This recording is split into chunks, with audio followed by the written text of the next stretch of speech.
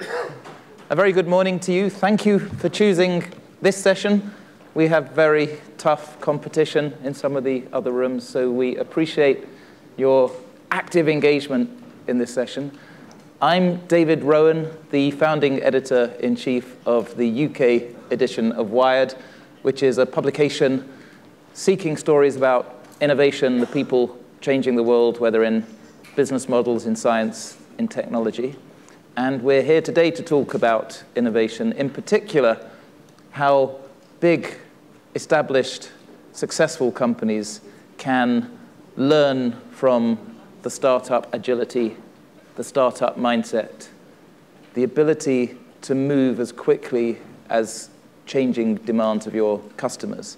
And we have an exceptional group of people to share, but also some amazing people in the room who we're going to involve in the conversation as the morning continues. So, from the world of startups, next to me with 70 employees um, in between the US and China, Yao Zhang, who started a business called Roboterra about three years ago, which is a smart and fast growing company helping educate people in creative new ways, building skill sets around robotics and coding and tech in a very accessible way. And we're going to talk to Yao about how you manage that early stage of growth and work out where the opportunities are. Um, we have a gentleman from a slightly more established family originated business. Um, you may well already know André Kudelski. His um, father started a business back in 1951, created a rather smart tape recorder called the Nagra. And since then, now Andre is running it. It's a 4,000 person business, a Swiss business where, among other things, they're responsible for ensuring digital security for broadcast companies and subscription tech to make sure the right people are enjoying the content. And among other things, Andre is also in charge of innovation for the Swiss government. So we're going to talk about how you develop new types of snow, milk, and startups.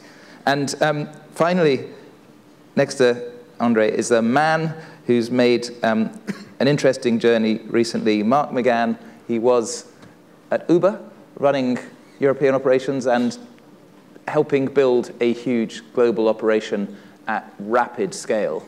And now he's working to help an established company with a big telecoms business um, disrupt itself. The business is called VEON. It's um, not a new business because it renamed itself in February from VimpelCom, started back in the early 90s and last time I saw, I think it was the sixth largest mobile operator in the world, operating um, mobile services such as Beeline, such as Wind, such as Djezzy, in many countries, particularly in Eastern Europe. And it's a $10 billion revenue company with about 45,000 employees. And we're going to explore how a company like this can evolve as traditional views of what a telco industry are being undermined by the way we're using our devices, the way we're consuming bandwidth, the way we're shopping around for different types of product. Um, but I'm going to start framing the discussion, which is essentially about what corporates and startups can learn from each other with um, my own personal quest. I'm on a journey this year to write a book I'm in search of genuine corporate innovation because I meet a lot of senior executives in all sorts of different industries who say, yes, we do innovation. We have a head of innovation, or we have a corporate incubator in another city. And generally, there are kind of disappointing results.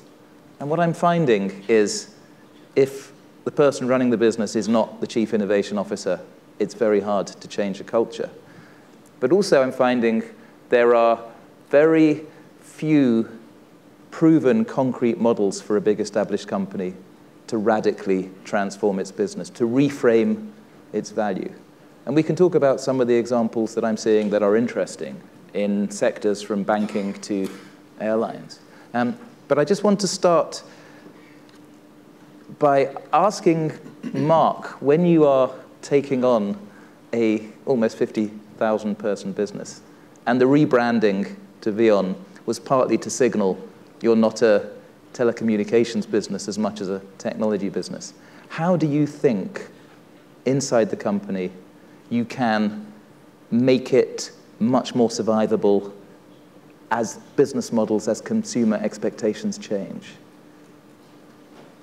I think what we, what we learn from the startup culture is that you have to be customer obsessed. You have to be laser focused on the product and on the customer to the exclusion of everything else.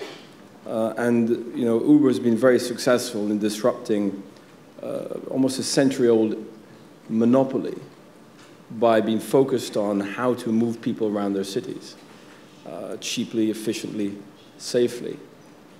And the telecommunications industry, which used to be a nat national monopoly in so many countries, has in turn been disrupted by, in this case, Silicon Valley startups, um, such as WhatsApp, all of these so-called OTT, over-the-top platforms, leading to a situation today where you know, we're operating the number one and number two mobile network, network in 12 countries.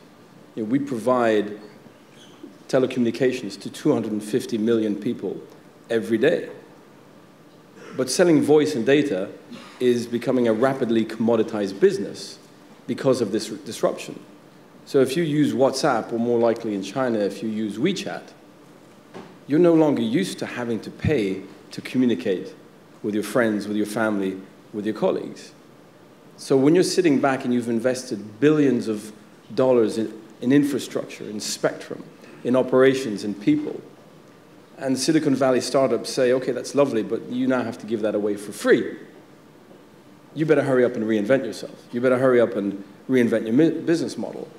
And where large corporates such as VEON can learn from uh, startups is if you are customer obsessed, if you're focused, laser focused on the product that you are building. And if you really have this sense of mission, you know, the mission of Uber, as Travis Kalanick said here at Summer Davos last year, was transportation as reliable as running water. If you have a mission, as VEON has a mission, to lead the personal internet revolution in our emerging markets where smartphone penetration doesn't go above 20%, then you can emulate the successful startups and reinvent yourself. Share any examples of concrete steps your team are taking to do this inside the company. Well, I mean, this requires massive investments. You know, last year alone, we spent um, almost 2 billion US dollars with Chinese companies, former startups, Huawei, ZTE, on building the infrastructure. Uh, but in terms of understanding how we can monetize the customer relationship, other than selling voice and data, we actually go to the startup culture. Uh, previously, like all big corporates, we had corporate social responsibility programs, uh, sponsoring this, sponsoring that, sponsoring football teams, et cetera, et cetera. We've stopped all that. And we've focused on one thing, which is entrepreneurship and innovation, building incubators in all of our markets. We've built the biggest technology facility in Pakistan. Islamabad, you wouldn't realize, is a hive of innovation and startups. Uh, and by sponsoring spaces and providing services to these startups that they otherwise couldn't afford, we learn through sharing ideas, through osmosis, and we learn what only a 25-year-old can teach you if they're focused on a mission and they're not worried about failing. We learn to focus on what it is the customer expects us to provide rather than the old mindset, which is what we want to provide to the customer. How do you ensure that the specific product development and the thinking of the incubator leap to the top of the parent company? I mean, it's very hard. You have to uh, change the mindset of people who have engineered a certain product because they were told, they were taught that telecommunications is a thriving, profitable business. But it all comes back to the device that you have in your hand, which anyone's teenage child will tell them. That's not no longer a luxury, it's a right. It's my interface with everything I do in life. Uh, and learning from these startups new applications, uh, going beyond financial services, going beyond sharing of music or sharing of, of video. Um, you really have to make sure that you hire the new digital mindsets. You know, the, not everybody goes to work in a startup. Some very bright young people want to come and work in an established company so they can grow and they can learn. So it's, there's this artificial division between you know, the, the uh, very innovative startups and the old, creaky, slow corporates. I, I don't believe that that is uh, a good depiction of reality. It does come down to talent, which we'll talk about um, in a bit. Andre, you are running, I guess, an almost 70-year-old startup, and you're also in a fairly fast-changing technology space. How do you, inside your business, think about protecting yourself from the changes that are going to hit you in the face in the next five, ten years? I'm not, I don't think that it's about protecting against the change, is taking the opportunity of the change. But I would just first come back to one specific event when I tried to reinvent the company, it was in the early 90s. And one of the key elements, and uh, Chinese will understand that, is the concept of one company, two system. And one element that is extremely important in a company is that if you have a well-established business, the rules that you need to apply and the way you manage it are very different from a startup one. But you need at the same time in a company to be able to have the two systems coexisting. And that is not so easy because on one side you may have some very tough rules for the existing business and you need to give more freedom to the ones that are disruptive. And that is really the art is to be able to have under one roof two different systems, and you cannot have only advantage and disadvantage in one place versus another one. So you need to have a fine balance to have one part of the company where you can take risks, the other one where you need to have tight uh, processes. And that is really one of the most fascinating elements is to make the two parts of the company accepting that the rules are not automatically the same. And I, as an example, one thing extremely important is to be ready first to hire people that are very young and to give to this young person some responsibility with the right to fail. Because one of the fundamental elements for innovation and to be successful here is to be able to take risk calculated risk, so you should not bankrupt a completely company, but basically have people young that are able to take some risk and to make a bet. And that is something that is extremely fascinating, is to see how younger uh, people are ready to take risk because maybe they don't know what are the consequences of failure. And that is what may be fascinating. I can share a case study actually that I've been working on for my book which is um, the origins of Tinder, the dating app mm. that's growing very fast in the West. It was actually created in an incubator owned by Interactive Corporation, which owns the big incumbent, Match.com, the online dating site. And Interactive Corporation acquired an incubator called Hatch Labs and got a bunch of 20 somethings. And it was actually on the same floor in HQ as Match.com and said, go and play. Here's a bit of budget. You don't need to account for the risks you're taking. And they made a bunch of apps. Many of them didn't work. One of them started as an attempt to create a loyalty program for retailers. And I talked to one of the founders, Whitney Wolfe, last week. She said she went door to door to cafes saying, sign up, it's great, no interest. And then she thought, why don't I go back to my college and go back to the fraternities and the sororities and get people to sign up to a slightly redesigned app that maybe they could use to meet each other and that it exploded under the nose of the parent company. So there are ways if you give people freedom. I just want to ask you, Andre, you talked about giving part of the company permission to take risks. Are there any examples of risk taking that you've already seen inside the group that you think could be new product lines, new revenue streams? Yes, I have seen a number of them because we are in a sector where you need to reinvent yourself every few years. So, uh, as an example, we have started cybersecurity as a new entity, and that was some risks that was taken, and we see now this initiative really growing. But the key thing is to be ready to fail if needed, and the best way to be successful is to be ready to fail, if I can say that. So, yeah, you've had more recent experience of building a new business, creating a new market, sourcing the talent, which is a very difficult thing. As we know, most startups don't make it. What skill sets, what mindset do you think it takes now to build a company from an idea to 70 people to an increasingly global audience? I definitely think that the mindset part is the most important part. Um, um, if I recall how, you know, how the founding team members of Roboterra get together in the spring of 2014, um, several of the team members were still working at the, you know, some of the, the top largest uh, tech companies in the valley. And then you know, we were with a background in hardware, software, AI, or you know, cognitive science, myself more from data background. And then we just got together 4 or 5 p.m. every day and then worked till 3 a.m. every day. We just, um, there are many, so our product is in educational robotics. There are many ways to define the product and define really the very specific need, uh, the need that we can address.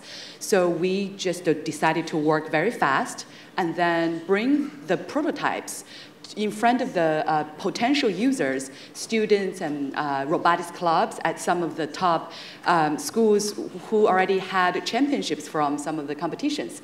So we just work with them, let, let the users tell us what are the issues, what are the other pain points they still have that we can improve our work to address those issues. So by adopting this way of uh, very, uh, you know, uh, interacting with our market. We all, we call it talk with the market. Even as a hardware company, we also have this method of talking with the market, get feedback very, very fast, so that in our iteration of um, just so many design aspects of the product, we're able to iterate fast enough and then um, by interacting with the market, we also start to receive recognitions such as uh, into the fourth month of our operation, we already um, were invited by the Tech Museum, uh, Tech Innovation Museum in, uh, in, in the Valley um, to do a large demo to hundreds of families. And then from there, attention from media, from investors came, and then that's how the company actually really launched. So you're not so much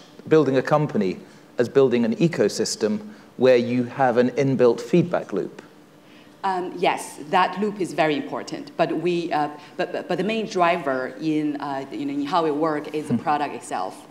This is something I've seen in a few fast-growing Chinese companies. Actually, if you look at OnePlus that makes the handset, they take a lot of their ideas for the software and also the hardware from their online forums, and they update the software each week, crediting, I think, people who have helped iterate. And also, Xiaomi in Beijing has parties for their fans, yes. for the Mi fans. Mm -hmm. So this is, I think, one tool that the successful organizations could be using to get that very, very quick iteration cycle. Um, you talked about people coming from other businesses, high positions in other businesses. You have talent at the heart of the business. When you're hiring new people, and startups can hire very quickly, how do you ensure that the new talent shares the cultural values, shares the mindset of the founders? Yes. Um, I want to share very honest stories. So um, I think at different stages of a startup, the talent strategy is ve very different. For example, when we're in our first year, um, throughout 2014, uh, we had less than 20 people of that year. We consider everyone really being really being one of the core founding team members. So, um, so the qualities of those talents that we try to engage in that process was very different. For example, you know, year one, I, we definitely would share the direction we're going, why this is a great market as a startup. We have tremendous opportunities there. Um, um, so, so share the potential, share the vision, and then really identify the people with the right uh, the right values and the same belief. And then skill sets is even you know, the thing after that.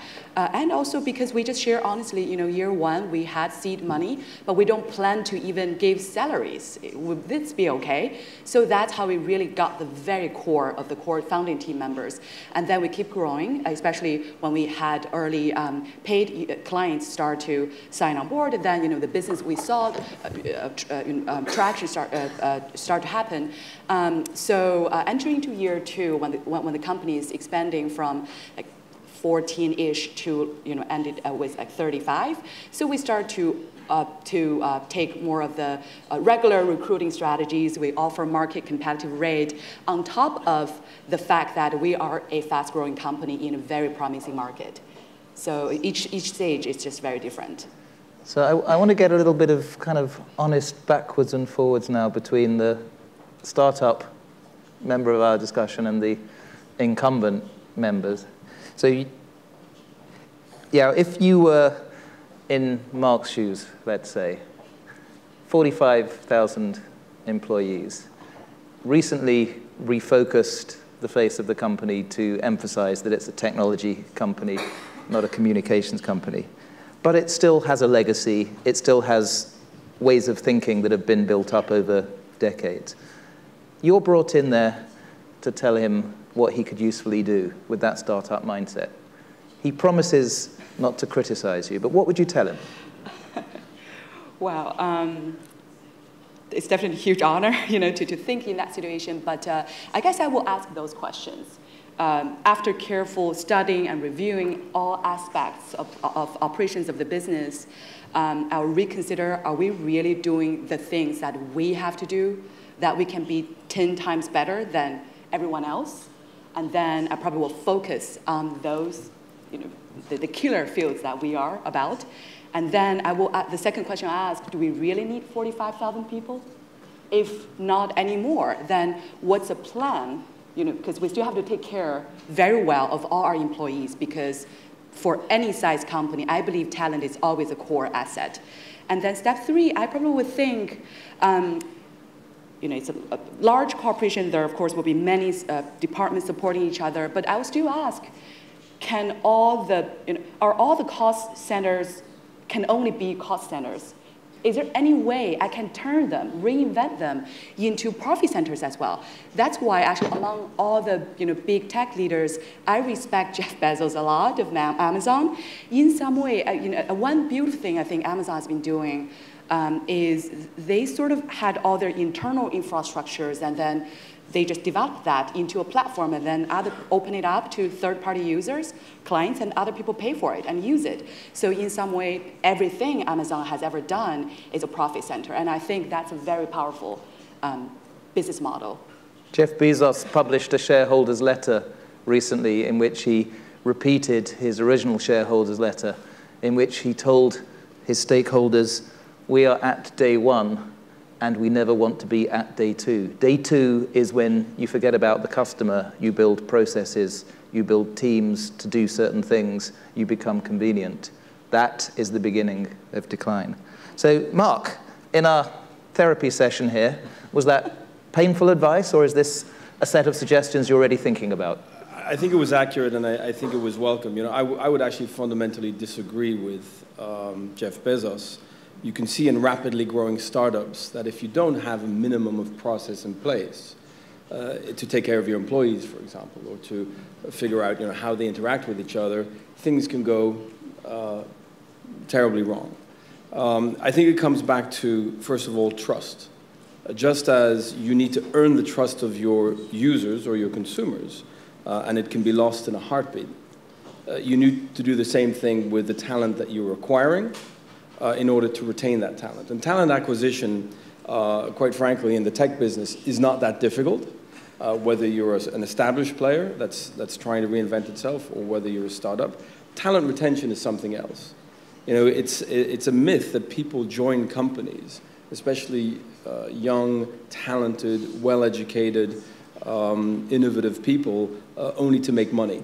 Uh, startups have shown that people are willing to forego a decent salary uh, in order to participate in something bigger, in order to have this sense of mission. Uh, of course, there has to be some sort of payout uh, at the end should the collective enterprise be successful. but it's the working conditions, it's how you treat your people in terms of the culture of, of the enterprise. you know, VEON, we as I said, we, we have the, the, the, the, number one or the number two mobile operator in, in all these great countries. Um, Pakistan, you know, we, we own and operate Jazz, which is uh, 54 million subscribers, you know, a quarter of the country's population. You go down to Islamabad, you go to one of the other cities, it's like visiting a pretty large startup. There's so much energy because people are, are really uh, well managed, people have really good working conditions, they're respected, uh, and they're treated as human beings, uh, albeit part of a, a bigger uh, mission and a bigger sense of purpose. So if you focus just on shareholder return, uh, if you focus just on the, the, the, quarterly numbers, then I think you're doomed to failure. And I, I know that uh, Jimmy Wales is doing work with the World Economic Forum uh, on inversing the pyramid uh, on which corporates have been uh, based in the past and focusing on purpose, people, and, and then profit. And I think if you espouse that approach in how you run your business, whether large or small, uh, I think then you have a, a, a, high chance of retaining the talent uh, and being successful. I'm seeing a lot of mission-driven for-profit businesses that see it as a major advantage, not just in attracting the talent, and especially the 20-somethings who are often not motivated by financial rewards. They want to make a difference. But it also helps define the purpose of a startup and get it through the very difficult bits. I was talking to Ayah Bdeir of Little Bits, who we wrote about, we put on the cover of Wired last year. She said it's really difficult building a startup because the highs are really high and the lows are really lows. If you have a defined purpose, it gets you through the short-term problems. Um, Andre, you have a second interesting role, which is being the Chief Innovation Officer for Switzerland, which is a rather successful and wealthy incumbent business. How do you approach this task? How do you ensure that a company that seems pretty comfortable, that seems pretty established, Switzerland PLC, can move as fast as some of its global competitors? There are innovation hubs everywhere from Berlin to Shenzhen to Tel Aviv. How do you make sure Zurich and Geneva and Lausanne are competing? So that's a pretty interesting question because Switzerland has decided uh, last year uh, effectively to completely redesign the innovation agency. So you have an innovation agency that have worked for more than 50 years, and the idea was to completely build from scratch a new concept, using the existing staff, but changing and completely revamping the governance. And it's interesting to see that the concept of startup, even in government, can work as a concept. And the interesting element is that, for example, the existing agency was based to really focus on what is happening domestically and was, some people can say, an agency that was looking how to get some funding for research lab from university. And we are transforming it, and that was a, a political decision to an entity that is first able to work globally with international cooperation because we cannot anymore look at innovation just from one country. And Switzerland is a special country. You do 200 kilometers in any direction, you find yourself in a different country. So we have understood since long time that we need to uh, look at what is happening outside of Switzerland. And so fundamentally to have an entity that is looking to have collaboration with what is happening outside of Switzerland, but also to have a system that is offering to startup or SMEs the opportunity to access to research that is done in university or labs in a way that they can come with something that is disruptive. And so it's fundamentally a revamping of the existing element. And one thing very important in Switzerland, we consider that things are never forever, so we need to reinvent ourselves and to do the next step by being ready to take some risks. But it is nonetheless hyper competitive between all these innovation hubs to attract the talent? I, I, would say that the first element is Switzerland has done pretty well in a hyper competitive environment. Switzerland has some competitive disadvantage that is the strength of the Swiss franc. It's a relatively small country, but at the same time, each of the disadvantage has been turned in an advantage because people are ready to really do incredible things. But it's also overall a very open country. Today, you have 32% of the population in, living in Switzerland that was not born in Switzerland. So Switzerland is much more open than many other countries. So if, if you look at the immigration, if you look at the diversity that you find in Switzerland, I think it's one of the most diverse you can find, at least in Europe. But let's just say your brief is to create the next Uber out of Switzerland or the next VEON you get to ask Yao to bring in 100 of her friends from both the Valley or China or any other places. What do you ask them to do to help create those conditions to create the billion franc, the billion dollar startups? So one of the key elements is to have the possibility to bring some talent. And here we have in Switzerland some issue because for the last few years that have been a really important immigration coming in, but we have finally found a way to deal between the internal constraints that we have in terms of politics and the needs uh, for the economy. Now, one thing that is pretty interesting is that in Switzerland, compared to many other countries, you have the freedom to hire and fire that is much more easy than in other places. And that is extremely important when you are interested to do innovation and to try some things, because if you are successful, you need to be able to hire a number of people, but if you have some issue or if you need to readapt yourself, you need to have the possibility to fire some people. So that's an example. And one thing that is extremely important is a good level of education not only for the very top people, but all uh, down the chain you have people that are pretty well educated. So no pressure, Yao. André has great universities, ETH, EPFL. He's trying to make it easier to get rid of people who no longer help take the company forward. You have now a shiny new office in Zurich where you can bring your 100 friends. But, but by the way, uh, Google has its largest center outside of the US for R&D in Zurich. So just to give you a But what do you see as the opportunity that maybe André hasn't thought through? Um, I actually had a I mean, it's definitely one of the very attractive uh, um, places uh, for global expansion. Um, so for the specific cases of RoboTerra, we are growing fast in international market. We're serving clients in more than 30 countries, and then um, huge demand is coming from Europe. So indeed, location-wise, um, it actually makes sense for us already to consider. Um, and definitely the, the, the talent quality is very, very attractive, the multi-languages. Um, and um, um, not, not, to mention, actually, you know, the beautiful landscape, the beautiful view and everything, that all makes living and working there attractive to talents. Another thing I want to mention, I noticed it's, it's quite different uh, about the talent mentality in, in, in several of the innovation hubs uh, that I heard about uh, compared to you know, the places uh, in China or the Valley, which is actually employee loyalty. So, you know, so for a startup, it's actually very hard to imagine, okay, I'm going to build a company that I'll keep all my employee with me for 20 or 40 years. It's just hard to imagine like that. However, I had friends uh, who also finished their um, you know, training uh, grad school in the US, and then they returned back to Berlin or other parts of Europe, and then they're saying uh, college students there um, in, on one hand, um, the, the, the, cost, for example, the, the, the salaries of a, of a software developer is not as high as the ones uh, has to be offered in the Valley.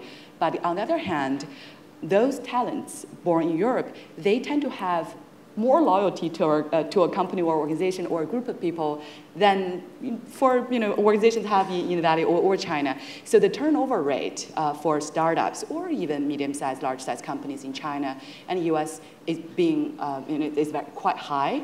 Um, yes, it's said that for the current generation, they're lifelong, they're going to have seven to 10 jobs in their lifetime. But it seems that in, uh, for, for European uh, professionals, it's still uh, you know, they still consider um, that if I choose a place to join, I want to stay as long as possible. It seems that that's a mentality European professionals would have. And I think for any business owner, that's definitely very attractive. Now, I would just add one point, and that is a survey that we have done in our own organization. One of the two top elements that do that talents come and stay within our organization is the interesting work and to share with great colleagues.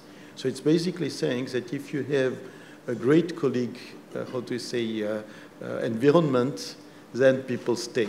They don't stay just for the company, but for the colleagues. And that is one of the most powerful uh, motivations that you can find. So one of the themes for our session is how you enable global innovation to grow beyond borders. And VEON has certainly grown, grown beyond many borders, but also your previous company, Uber, was a case study in very rapid expansion into many different markets, finding local teams to execute, but also creating hubs where specialist skills, so the AI, the work on maybe autonomous vehicles could work. And Mark, how do you see the um, value of creating particular localized teams in a globalizing business? Uh, I mean, that's a tough one. I think there has been a bit of a tendency to try and replicate in every uh, location. Uh, every, every location or every government or every city is trying to become uh, the, the local equivalent of si Silicon Valley. And I think that's maybe missing the point. In different markets, you need to know, you need to focus on what are the, the, the real skills of the workforce. Uh, and of course, yes, going forward, it would be great if all governments and all universities and all high schools could have a stronger curricula on so-called STEM uh, subjects, science, technology, engineering, maths. It would be great if you could have coding um, as a requirement alongside uh, the, the domestic language and, and mathematics for all children. But not every country is going to create unicorns or decacorns uh, and I think that would be um, a misguided uh, ambition uh, for government. Um, you know, we are, as I said, in 12 countries, a quarter of a billion people uh, is our customer base.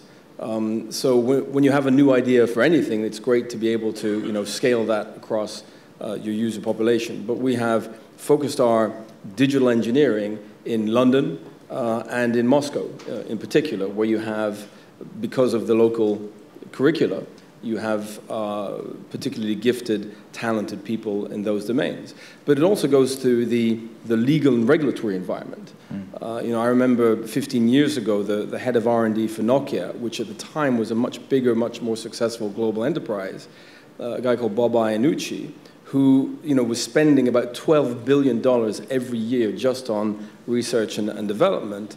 Uh, he was bemoaning the fact that the best and brightest and in, in the European workforce all wanted to get their PhDs and go to California because in Europe it was frowned upon uh, to want to be successful and, and, and make money.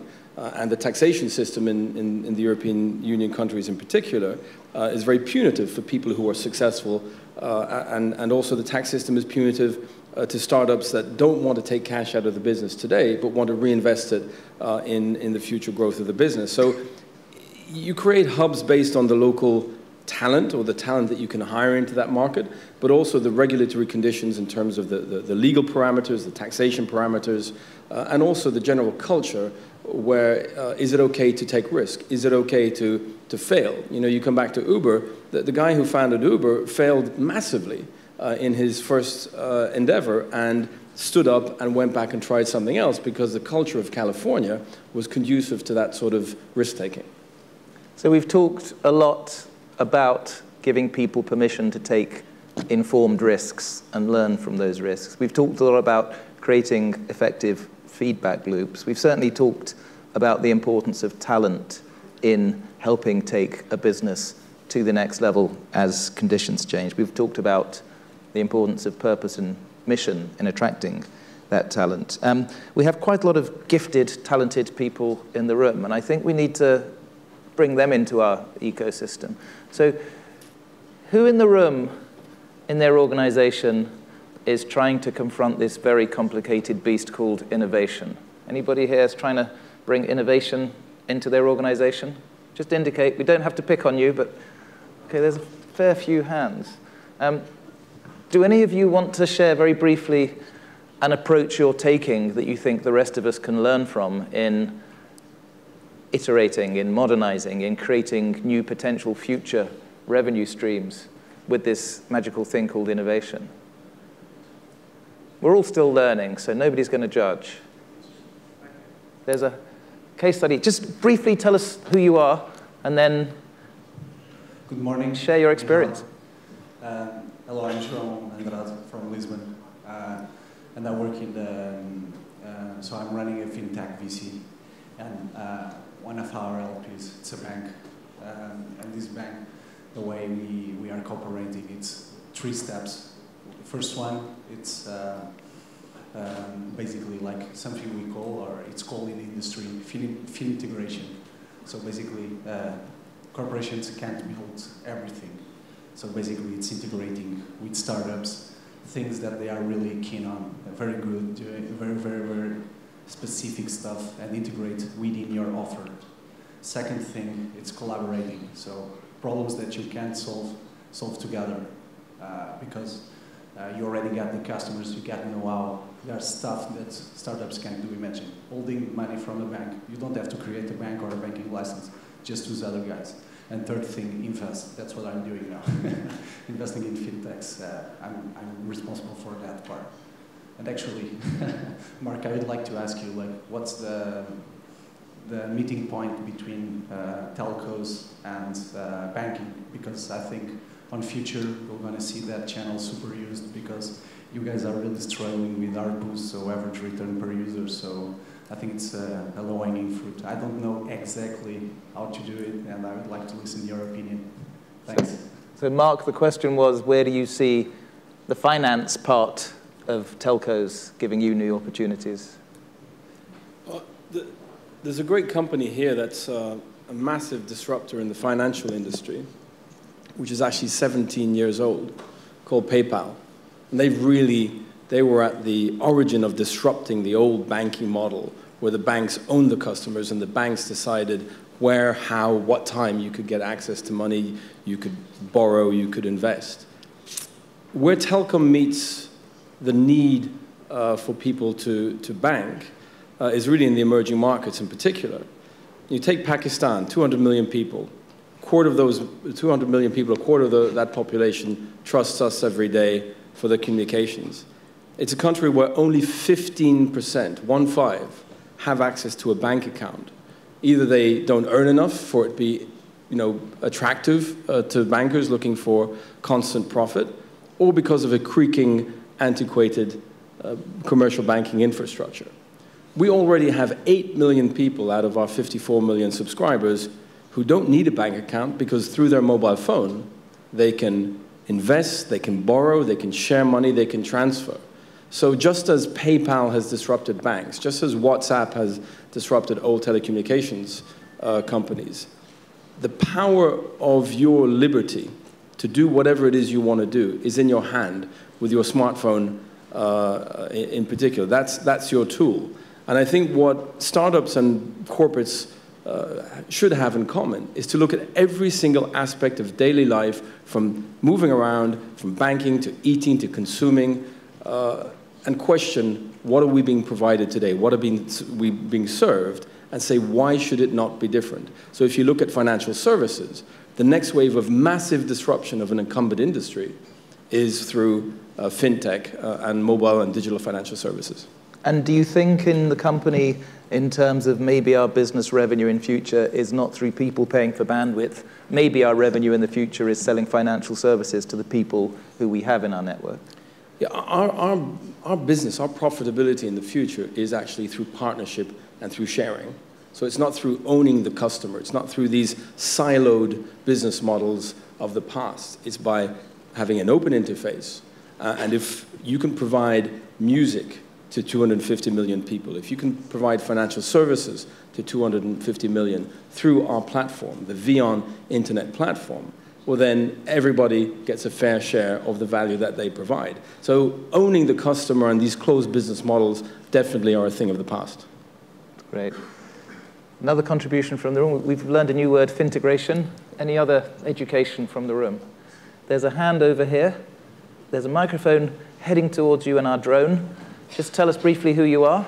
Hi, I'm uh, Rohit from AXA, which is a more traditional insurer who's trying to innovate. So we're doing all of it, right? We're doing telematics, AI, robotics, and so on and so forth. One of the things I've learned is whenever we go big bang with a big idea, it goes through this usual debate between the finance world and the innovation world in traditional companies. So the approach we have taken is let's do it in small chunks. Let's show success, and success is the best answer to getting more funding. So every time we do something small, people get excited. Wow, the AI works this way. Then we can build on it. And that supports the business case. So trying something radically different day one because of our legacy issues is far more difficult than doing it in phases. And then there's always the benefit of partnerships, which is partnering with fintech companies. So yeah, does this sound the way to do it? Incremental steps, testing at each step of the way? Is that agile startup thinking? Um, it's, uh, it's one way of being agile, and I, I like uh, what, what, he mentioned that uh, you know start something that can be even radically different. Uh, I think the spirit behind that is dare to try. If you see a new way or opportunities to, to, to address on some issues, then just have the determined people go do it and not be blocked because, oh, that's not my role, that's not, re not my responsibility, I may lose, you know, my recognition, whatever, so just, just, just, you just have to deliver. I think that's the spirit. André, are you finding ways to iterate? There is not one size fits all, and I think it depends the market you are in. Because some country, you have the time to do incremental, and that is one of the best elements because you have a feedback loop that can allow you to avoid to do too big mistakes. But if you take very large market, like US market, like Chinese market, if you do the thing too small at the beginning, you will definitely have someone that will do that faster by putting more means. So what you need to consider, you are not the only one in the market, and if you have one that uh, is putting a little bit of money and the other one that is putting much more, then you have a high chance to be uh, yourself uh, disturbed. It's a very fair point, yeah. I mean, when you're building a business as a startup, you discover a market that other people don't know, and suddenly there are 100 competitors. How do you make sure you stay ahead of the competition? Uh, very good question. So, so, so, I think uh, for me as an entrepreneur, before you enter into a market, yes, it does. You, you, need to form insights about the segment you're going into. As I mentioned, that uh, I think uh, whether it's uh, it's you know innovative technology model, business model, service model, that uh, you should be able to know you are working on something that's multiple times better than what's existing solutions. Um, and then when you're multiple times better, and then yeah, if it's a good enough market, similarly, with the best people, you still have to work really hard, if not, you know, be, you know, work, work the hardest so that uh, you have a chance to win. Because for a startup, I, I, think for, for my team, from the beginning, we know uh, there's no guarantee of success. which if we have the belief, we, we, we just keep working on it. So. Are you finding RoboTerra competitors emerging? Um, we definitely are um, very strong in, where, in our market, and then we're growing fast. Cool. Thank you for the question. We have space for another one or two. There's a hand over here. Introduce yourself, sir. Yes, I come from Tsinghua University. We are running a very big science park. We have incubators around China, about 100. We saw thousands of new business grows up every day. So my question for the panelists is, the people always want to live it longer and longer. But for the today's work, do you think the company, keep the company as long as possible is a good, good effort? And put it another way, if I give you a certain amount of resource, you use this resource to keep your company as long as possible, or you want to use this resource to start something new, please. Especially for the company have 45,000 people. Uh, are you going to keep for another 100 years? So Mark, do you want to volunteer to shut down VEON and build something new, or do you think a big company should be planning for its own future? I think in, in China, 45,000 people company would qualify as an SME. Um, but you know, we, we were 60,000 two years ago. Uh, in order to build this digital business, you have to uh, be able to afford to hire the digital talent. So you adapt your business model, you adapt your, your workforce. I can guarantee you that five to 10 years from now, VEON will be doing something radically different to what then VimpelCom set out to do in 1992. So you have to constantly reinvent yourself. And if you stop providing a useful service, if your raison d'etre uh, no longer is valid, then you go bust uh, and, and you die. Um, so, you know, the 45,000 people who come to work at VEON every day, they wonder what is their purpose. And they're connecting a quarter of a billion people which is it's something to, to motivate you and get you out of bed and you want to go in and you want to keep innovating. Uh, and what those 45 or 40 or 35, it doesn't matter the size of the company, but the purpose of the private sector in particular is to continue to innovate and think outside the box and question why not. As long as you're doing that, then uh, I think you know, your future is, is guaranteed. Maybe a useful way of understanding this um, is, is what I call reframing the value of a business.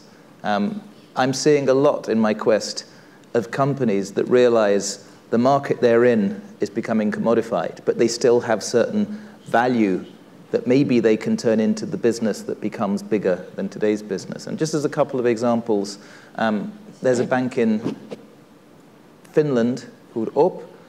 Banking is becoming commodified. It's just opened four private hospitals because if you have the trust that a bank has of your customers, you will trust that bank to build the sorts of businesses that look after you in difficult times. There's a bank in Denmark, Danske Bank, that's just opened a series of new ventures. One of them is a way to help you find your home, not just to help you finance your home, but it's an app that helps you see the right property for you. And then it guides you through that whole difficult process of buying a home modernizing the home. So it's not doing what a bank does. The most interesting example I've seen of radically creating businesses that add value. There's an airline in Australia called Qantas, which is in a very difficult space.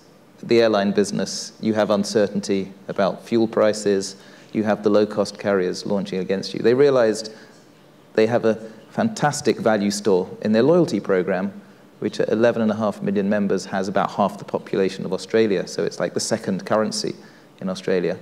They've now got a unit, I think of about 120 people, building businesses on the loyalty program, a health insurance business, a life insurance business, which have much better relative profit rates than the, par the parent business. So I think it is possible for people running big successful businesses to kind of take it in a slightly different direction. But I, I would just add that the, sort of our parents' generation, companies were built, you know, like Ford was built, you know, for centuries uh, upon a particular business model. You know, to come to the question of, of the, the, the academic, the gentleman uh, from the university, I would view corporate entities today almost like cities. They are hubs or they are actually natural hosts for lots of individuals with dreams, with ambitions who will come and go very few people in this room under the age of 35 will have one career, one job. They will stay two, maximum three years with any one corporate uh, entity. Uh, and I think it's really, you know, understanding that change and keeping pace with it uh, that, uh, that is important. We probably have space for another contribution. I see Anybody here from the startup world? No startup entrepreneurs in the room? There's an opportunity. Here's a startup entrepreneur. I just want, I, I just want to introduce yourself, and um, I just want to get what you would do to make both André's business and Mark's business um, likely to be here in 30, 40 years. Yeah. Um, good morning. I'm João Romão from Portugal. I have a startup company called Get Social, which is a social analytics platform. Uh, and what I feel from the corporate world, so we work with uh, companies like Adobe, uh, Forbes, Sky, Media, uh, which are very large companies that ultimately came to us to get a source of innovation ideas to their businesses. So, um, and what I feel like from this world, uh, more legacy or bigger companies, is that there, there's a drive for innovation, but they're still looking for those fast-moving companies, startup companies, just to get a hand of what's there, what's new to do, and how can you help us guide um, our, our innovation, our business. So what I feel is that is, is that we're as startups, we're being that source of new ideas and faster moving uh, mechanisms to develop these older businesses. But I do feel that they have uh, an open window to hear us and to get a feeling of what we can do with them and not for them. So it's not, it's not a supplier-customer relationship, it's a partnership that we're creating with them. And that's uh, really good for smaller companies like ours. Thank you. It's a good point. Do you see, André, the value in these partnerships? Of course, because I think that if you just limit uh, yourself on what you see within your organization, you miss a very important part of the ecosystem. So the best way to have your internal innovation as competitive as possible is to benchmark with the best of the best. And so fundamentally, that is creating an emulation. Now, I would just like to also insist on another element that is extremely important if you want to keep your talent motivated, is to give them the possibility every few years to change their job within the organization. So to say that after 20 or 30 years, uh, talent will have changed five or 10 times his job within the organization. So right. just to say that you need to think about mobility in a new way. So last word from our expert leaders on the panel. If you could leave the audience with one concrete takeaway, one piece of advice that they could go back to their organizations and implement to try and help that organization think more like a startup, what would it be? Just in a, in a minute, tell us.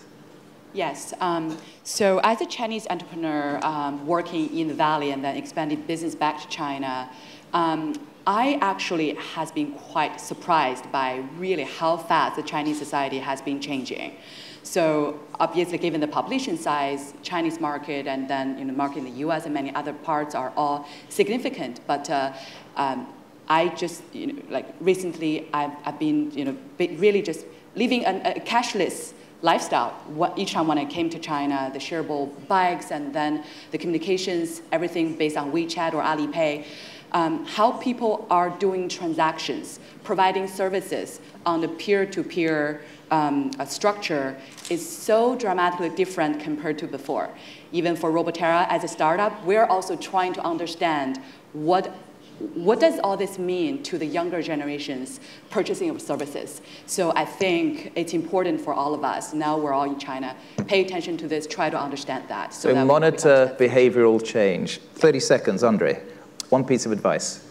First, don't let the other one disrupt your business, disrupt it yourself first. now, just to say, fundamentally, you should not just look at the existing competition, but who may be a potential competitor. And don't forget, one of the greatest opportunity of disruption is not fundamentally just technology, is a business model. So think about disruptive business models. Very powerful advice. Last word to Mark. Think, think of uh, your business as, uh, as a bus ride uh, or an Uber journey. You're going to share your journey with a couple of people for a while uh, you need to make it work. It's about the culture, it's about the values, it's about what are we going to achieve together in a short period of time. And I think that's got, got to be your horizon. I think that's what pe keep people motivated. So if my job is to conclude this wide-ranging, lively debate, which is kind of a challenging, disruptive task, I'm going to go with the phrase that Yao threw into discussion a bit earlier, which is dare to try. With that, thank you to our expert panelists. Thank you to you in the room. Let's hope we can bridge the startup corporate world in creative, value-building ways.